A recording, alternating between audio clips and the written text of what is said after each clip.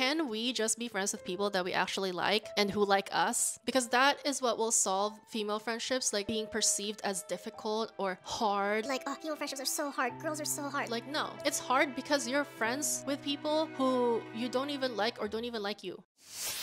Hey, bestie. Welcome to the Spoiled Girly Support Group podcast, where we talk about how to get that bag while also securing your own bag. I'm your host, Elle, and let's get into it. On today's episode, we are talking about the female friendship crisis, which is brought about by the rising therapization of relationships, the loss of third spaces, and the rising costs of living. So, if you're having a hard time making female friends right now, it's not all on you, okay? There are all these factors that contribute to why it is so hard to make and keep girlfriends nowadays. But we're gonna talk about the solutions as well, so stay tuned. Now we have lots to cover, but before we get into it, I need you to hit the like, subscribe, and the notification bell so you never miss a Spoiled Girly episode. With that being said, let's get into it. Kind of like the idea of romantic relationships, this idea of having female friends, like female friendships, like a girl group, it has been sold to us from a very early age. And I am selling it to you too in this class, okay? This class is is sponsored by Female Friendships. Okay, I love female friendships. Like, I recommend it all day, every day to anyone who asks me. Okay, if there is one gift that you can give to yourself, let it be female friendships. Like, the kind of support and encouragement and just like good vibes that you get from good female friends is so unmatched. Okay, like the movies weren't lying to us when they show all these friends like having fun with each other and like braiding each other's hair. And it's like sisters that you don't share parents with, you know? And sometimes like those bonds can be stronger than like your own biological sisters, you know, for a lot of people. And I honestly think that having female friends, having a girl group, having sisterhood is an act of resistance in a world where women are pitted against each other just so we could tear each other down and do the work of the system for them. No, thank you. Okay. And I like this quote from Schmecks in the City. It goes, Maybe our girlfriends are our soulmates and guys are just people to have fun with with. Okay, that's a statement. So to help me sell you the idea of female friendships, let's look at the data. Research from UCLA suggests that women who have support from female friends during times of stress may live longer than those who don't. So let's get into two reasons why they're amazing. Number one is the emotional support and empathy that your girlfriends give you. A 2021 American Perspective survey found that there are massive differences in the degree to which men and women rely on friends for emotional support and are willing to share their personal feelings. And this notion that women rely rely on their friends emotionally is supported in this study. And it states that when facing stress, women tend to adopt tend and befriend mechanism. Unlike the confrontational or isolating nature found in the typical fight or flight response, tend and befriend sees women leaning into their relationships to navigate stress and challenges. So instead of withdrawing or engaging in the conflict itself, we turn to our support systems, which not only alleviates the immediate stress of it, but it also strengthens our emotional bonds with each other and it makes our overall relationship stronger, more resilient, and more enduring. And these psychological benefits, they're not just exclusive to the interactions where one person is sharing what they're going through. According to Dr. Gloria Gilbert, founder and CEO of the Institute for Holistic Rejuvenation, when women spend quality time together, they produce more serotonin, which is a neurotransmitter that helps fight depression and contribute to a general feeling of well being. And this idea is supported by the American Psychological Association, whose research reveals reveals that women who maintain strong friendships are less likely to experience depression, anxiety, and stress. And Jane Fonda puts it so beautifully. She says, Because you guys, you kind of sit side by side and watch sports or cars or women. Women sit facing each other eye to eye and they say, I'm in trouble, I need you, can you help me? And the second reason why you should get on the female friendship bandwagon is personal growth and empowerment. Female friendships help foster personal growth by being a source of empowerment. There have been times in my life where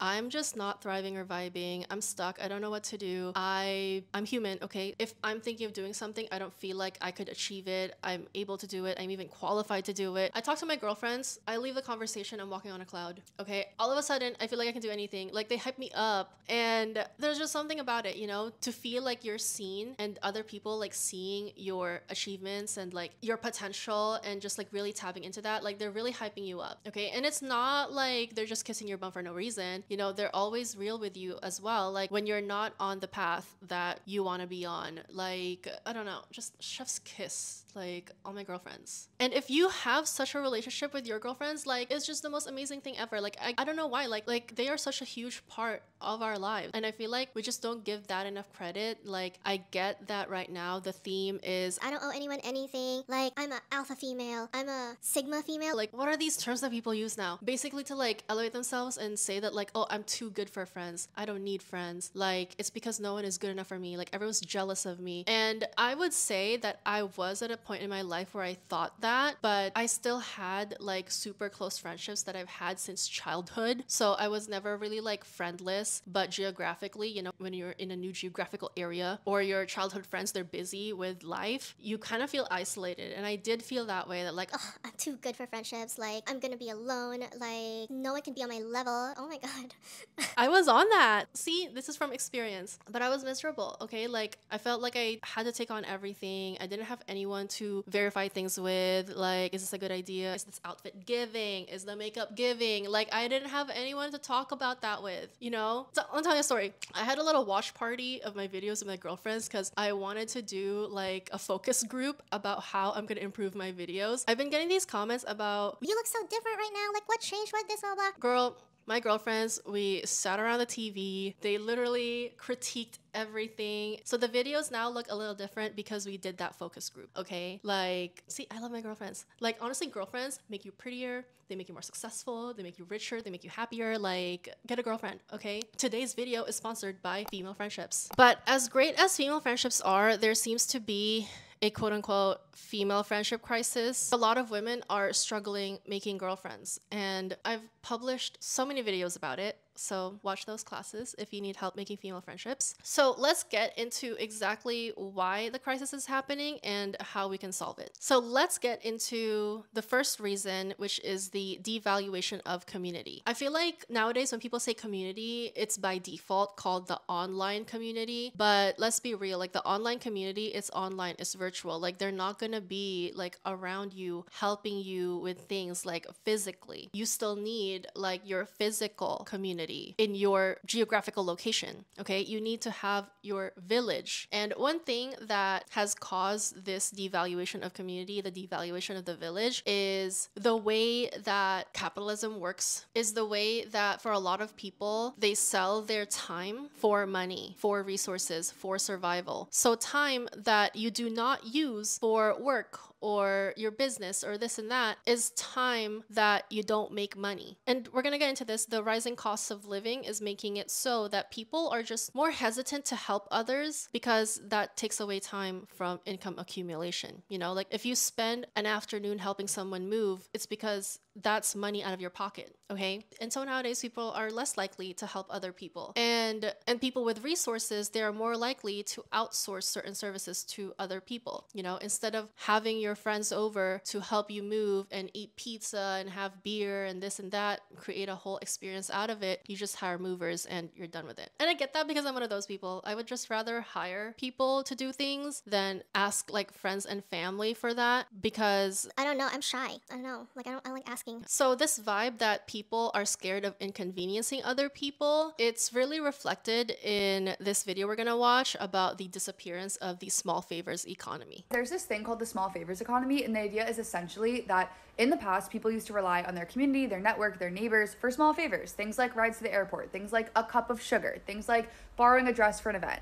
But now, with late stage capitalism, those things all seem like rude for us to ask because we could just do them ourselves. Like, we could just call an Uber instead of inconveniencing a friend, or we could order a dress on Amazon and have it get there tomorrow, or we could like postmate our groceries instead of like asking around if anyone has anything. And that's actually really bad because it drives us further into isolation from each other and from our friends, which is good for literally no one except for the people who are trying to sell us stuff on our phones. Honestly, I think we all need to get a little bit more comfortable with the idea of inconvenience. It's really not that bad. And actually can in this case be really good. Like if you ask your friend for a favor, they'll ask you for a favor. And it's a great cycle and a great way to deepen that friendship and stop our loneliness epidemic. To be clear, if you're gonna be, if you're gonna ask for small favors, you gotta give and offer small favors. And the disappearance of the small favors economy, it's resulting in friendships that promote showing up for your friends only when it's convenient for you. And I totally get that. Like, I'm all about what's good for me. And there's definitely nuance and discernment with this and also boundaries. But your friends are your friends. Like, they're your extended family, basically. Sometimes you have to make time for them, you have to make space for them, you have to make effort for them. Like, that's what it's about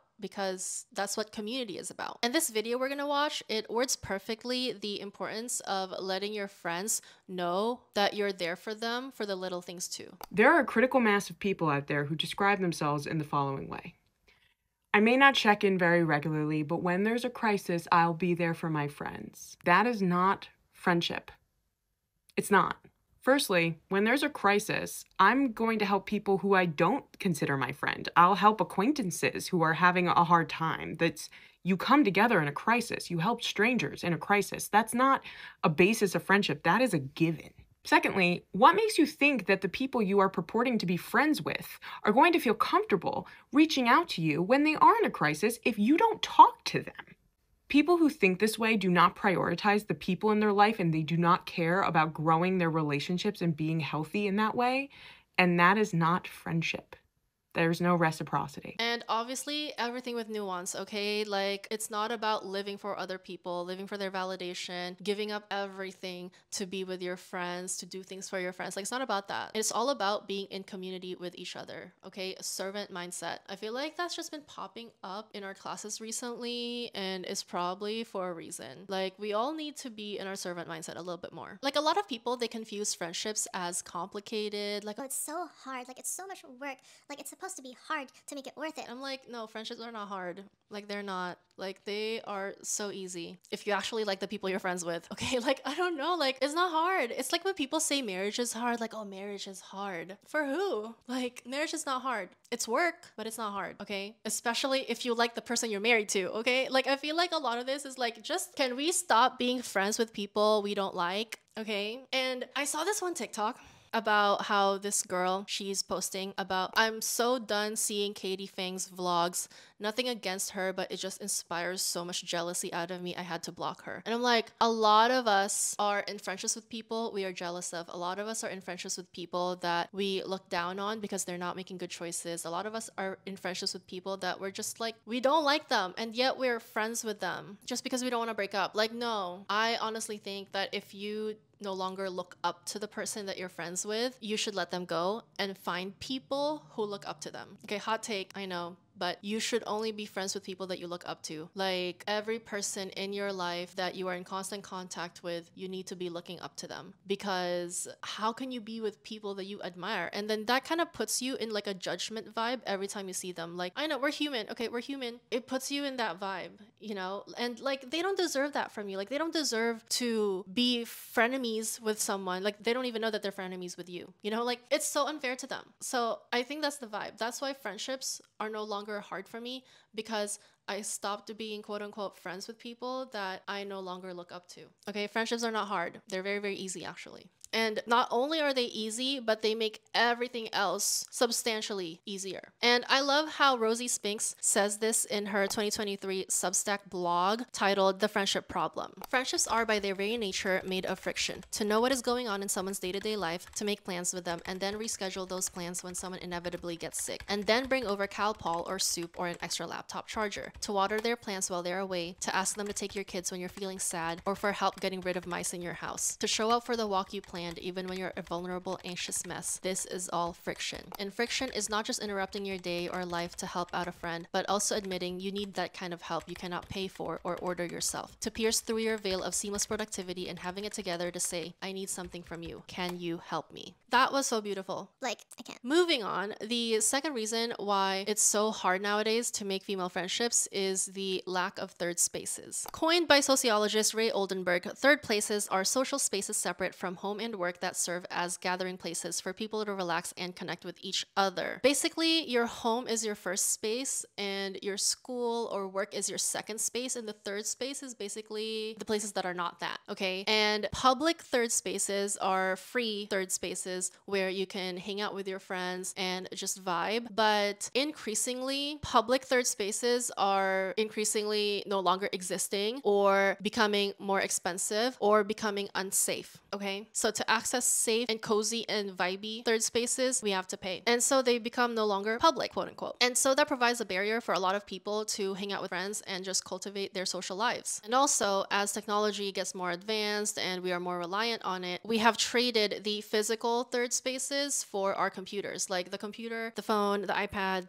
the whatever has become our new third space. Our third space is now online communities. And while I love online communities, we're in one right now, I still want to emphasize the importance of in real life physical communities that are close to you who can lend you a hand when you need help, like physically be right there. In an article titled The Death of Third Places and the Evolution of Communities, the writer sums up these sentiments in a simple question. If we can get all of these comfort from our couches, why do we need to get out to meet strangers? But from my vibe check online, it's evident that a lot of people are lonely. A lot of people don't have friends. Like, it is clear that social media, these online communities, they're not a viable substitute to the actual third places, to the actual communities that we cultivate in these third places. Alice writes Remember when hanging out with friends meant being in the same physical space instead of a Zoom call? When grabbing coffee didn't mean imagining the smell of freshly brewed beans as you sip from your instant Nescafe? What about those cinema nights we used to share, not movie marathons on Netflix, but spontaneous trips to our local theater to experience something new and exciting together. It's time for us to end digital only socializing and rekindle the real life connections fundamental to our well being. Let's reintroduce third places into our lives, places where we can come together, hang out, and create unforgettable memories without worrying about battery levels or bad phone receptions. In addition to the disappearance of the small favors economy, the loss of third spaces, another factor contributing to the decline of female friendships is the therapization of interpersonal relationships. Because more and more people are turning to their therapists for their personal struggles, these are things that we used to tell our friends and now we tell a professional, which, like I said, I'm a huge advocate for therapy. Love, love, love therapy. But it is not a substitute for female friendships. Okay, let me say that again. I love therapy, but it is not a substitute for female friendships. And one thing that happens as well when a lot of people go into therapy, like, you know, you learn all these words. I don't owe anyone anything. Put yourself first, this and that. We tend to apply that to our interpersonal relationships so that we can avoid having to be vulnerable, so that we can avoid having to take accountability, so that we can avoid having to work on ourselves. Okay.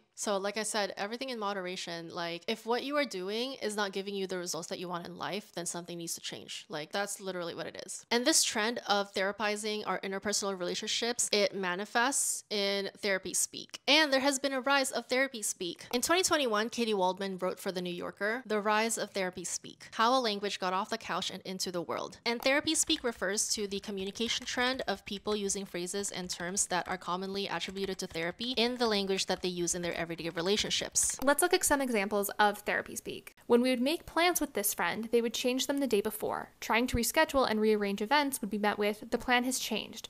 We're going to do an alternative activity. I'm setting a boundary. One of the key things to note is that it's totally fine and normal, even, to ask our friends to change plans. Where we're getting into trouble here is in this example, the individual didn't ask for anyone else's input, they didn't check on anyone else's needs, and it was really phrased as, I've made this decision and that's final. Essentially, therapy speak is using the word boundaries or self care to disguise selfishness or cruelty. Interestingly, a comment under this TikTok even singles out the use of emotional labor to describe listening to your loved ones talk about their feelings. The same thing happened a while back with using emotional labor to describe listening to your friends or partner talk about feelings. And someone said, OMG, yes, I had a friend who over brunch said she was doing emotional labor just this once by hearing about my week. LOL. That is wild. That's so wild. And I can't stress this enough, but like healthy relationships should provide space for vulnerable conversations. Like, what are your friends for if you're not able to be vulnerable with them? Okay. And obviously, with nuance, like, you're not going to be vulnerable with everyone, but like, your very, very close core friends, like, if you're not able to be vulnerable with them and share like your apprehensions, what you're nervous about, your dreams, your hopes, like, are you really friends though? And it brings me back to what I said earlier like, can we just be friends with people that we actually like and who like us? Because that is what will solve female friendships, like being perceived as difficult or hard. Like, oh, female friendships are so hard. Girls are so hard. Like, no, it's hard because you're friends with people who you don't even like or don't even like you. In an article titled, Is Therapy Speak Ruining Our Relationships? Meg Walters enumerates other therapy phrases that have found their way into our personal relationships. In the wake of a much needed increase in accessibility to therapy and therapists in the digital age, a whole new communication system is beginning to form. We are encouraged to set boundaries and hold space and reject toxicity. We are taught to look out for things such as gaslighting, narcissism, and love bombing in our relationships. She then goes on to talk about the dangers of not only misusing but also abusing these phrases. Without a trained guide, many have begun to develop the habit of applying their half baked understanding of psychology to situations where the concepts simply don't apply. If we feel uncomfortable or unhappy or anxious, we reach for a term that fits. Soon, we are speaking in a language filled with therapy speak, even if we aren't necessarily qualified to understand it. In turn, important concepts begin to lose their meaning, and our conversations and relationships are diluted with increasingly vague, meaningless turns of phrase. Now, Walter drives the point even further by claiming that therapy speak has a more sinister effect than just seeing popular therapy language removed from their context. She writes At its worst, therapy speak allows us to arm ourselves with language that masquerades as a kinder, more empathetic form of communication, while in reality, it is weaponized to excuse our most selfish choices. And unfortunately, there are people whose experience supports this. Charlotte, a writer in London who was featured in the article for having experienced therapy speak firsthand, shared that the communication trend has made it hard to call out somebody for being a bad friend or being self absorbed because it's allowed them to mask their intentions with a bunch of pseudo scientific lingo they learned on TikTok. And another woman named Louise, she emphasized that therapy speak comes across as very clinical. She shares, You can't just use these terms and phrases as a blanket template to end all your friendships. Every person is different, so your conversations with them should all be different too, depending on what they would actually want to hear from you. And if we take into account that women make up a larger portion of therapy patients, it's likely that therapy speak is more prevalent in women's relationships. Like I said, I am all for therapy. I am a huge advocate for therapy, but there's nuance. You can't therapize your interpersonal relationships like that if you are to have these strong relationships with people. Yes, you can set boundaries. Yes, you can reject toxicity, literally disavow it. Do not claim the toxicity, okay? But you also have to use the phrases and the concepts that you learn in therapy with nuance. Okay, it's giving no nuance. Because, like I said in the article, a lot of people who therapize their relationships, they just use it as an excuse not to grow as people, not to be better friends. And uh, you know what? If people don't want to put in the effort to being a good friend, like it's okay. Just like don't make friends. Okay. So once you decide that you are ready to be friends with people, then put your whole back into it. Okay. Like really put your whole back into it because that is how you will make your friendships so much easier is when you are in your servant mindset and you find people who are in that similar mindset as you. Like, don't know, like female friendships are not that hard, I swear. So the last reason that we're going to talk about as to why we have a female friendship crisis nowadays is the rising costs of living. Like the financial barriers to friendship is so much greater now. And I'm not just talking about the loss of third spaces. Now you have to buy a coffee, you have to pay for parking, you have to do this and that just to hang out with your friends. And one could say, well, why don't you just hang out at home? The thing is, people are getting priced out of their homes. People due to a lot of things, the rising cost of living, people are moving to places where there's lower cost of living, thus taking them away from their community, taking them away from their friends. Like you can't even see your friends anymore because you live so far away. Okay? Like friendship is just becoming so much more expensive now. And that's the thing too, is especially when you're younger, like when you're not making a lot of money, like if you're grown, like you can afford a coffee with your friends or you can have your friends come over, you know, like but when you're younger, you need these low cost, free public third places to hang out with your friends or you need a home to actually invite them to, or your friend has to have a home that you can go to. Like when you're younger, there's like these barriers that you just simply cannot overcome. And that's why we are seeing like a lot of young people having problems with friendships, is because the environment is not conducive to fostering friendships. Okay. And I'm just seeing it now that like having friends from a young age that you keep as you get older is a privilege because being able to stay in contact with your friends all the way from way back when, that is a privilege. And so this vibe of having to spend money just hang out with your friends. It was captured in Mia Brabham Nolan's article titled How Much Are Your Friendships Costing You? And the writer recalls how moving to LA and having her social calendar filled with all these engagements, it made her feel as if spending money was the only way to have a good time. She writes In today's world, experiences take center stage, from lavish weekend trips and themed pop up museums to cute, in theory, but subpar in reality brunches featuring $20 mimosas that are mostly orange juice, by the way. It's become too normal to drop Jacksons and Benjamins on a single outing with buddies. After a few weekday happy hours, you've spent the same amount as your monthly utilities before payday. And yeah, I feel like that's the vibe with a lot of friendships nowadays too. Like when you're older, you're grown, you can afford it, okay, whatever. But that's why we're seeing a friendship crisis, especially in people who are younger. You know, like a lot of the times, a lot of people just can't afford to have friends. So now that we've talked about all the reasons why we're in a female friendship crisis right now, let's talk about the solutions. Number one is make your friendships convenient. One of the things that has worked so so well for me is making my routines more accommodating to people. And what I mean by that is, for example, when you get a gym membership, you can choose one that allows you to bring a guest, or you can have a walking, hiking routine that allows for another person to join you. You know, like just create your routines so that people can drop in and out of them. And one thing that I've also enjoyed doing with my girlfriends is grocery shopping together. I don't know why, like going to Costco, doing our hauls, getting samples, like that's like a two hour activity. And I love it. I love it. Make your friendships convenient, okay? You don't have to like put on this whole thing every time you see your friends. Like make them convenient. Like literally book your beauty appointments with your girlfriends, like together, or just run errands together. Like, it doesn't have to be anything big. Like I feel like there's so much pressure to like do big things with your friends. And like, no, it's not about that, okay? If you are to spend the rest of your life with these people, like they need to be part of your everyday life. And not to say that you would see them every day, but like the lifestyle has to be like similar to yours. And that's one thing that like I feel like people have a lot of struggle with is when you have friends who live a different lifestyle from you. And we talked about it in a past class about how, you know, when your friends become new moms and it's just so hard to relate with them, blah, blah, blah. But like you can be there to help them, you know, like I don't know why, like there's so much nuance to this, but I'm, all I'm saying is like make your friendships convenient and make your friendships a habit. And the second solution, like I said, I feel like I've been saying this whole solution, this whole class, is to be friends with people you actually like and who like you back. Okay, that's number two. And number three is if you do not have friends right now, like put yourself in places where your potential friends will hang out. And those are the same places that you hang out at anyway. So just engage in your hobbies, follow your passion, do what really brings you life. Okay, and you will find people who are doing the same thing. And that's where you find your girlfriends. And the last one is be in your servant mindset. Okay, like you need to be in servant mindset. And I feel like people get so confused by what servant mindset is. Like servant mindset is literally being a servant to others. And it may have like a Christian kind of Catholic religious connotation, but it doesn't have to be. Okay, it's just being of service to the people around you. And obviously, you're not going to do it for everyone because then you're going to be taken advantage of by people who don't want the best for you. You do it once to people who you think are going to be your friends. You do it once. You give it your all. Like you throw your whole back into it. It's not love bombing, okay? Because you're going to keep doing it for the rest of your friendship if it pans out. So you throw your whole back into it and you see if they reciprocate the same servant mindset. And if they don't, that's totally fine. You don't have to be friends with them. They're not a bad person. They're just not aligned with you. And also, if they think that you're love bombing them, they're suspicious of you or this and that, like that also means that they're not your people and that's okay. They can be friends with other people. But if they return the same servant mindset to you, like chef's kiss, you guys are friends forever. That's it. Okay.